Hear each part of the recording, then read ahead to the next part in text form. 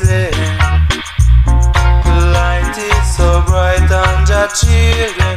No one can change our way.